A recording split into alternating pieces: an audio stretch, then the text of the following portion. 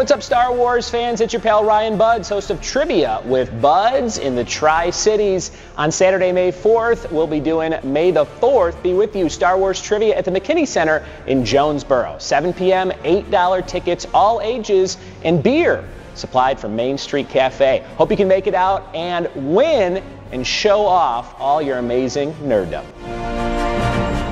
All right, Star Wars Trivia Night, May the 4th be with you. Your first question In The Empire Strikes Back, does Luke get his left or his right hand cut off?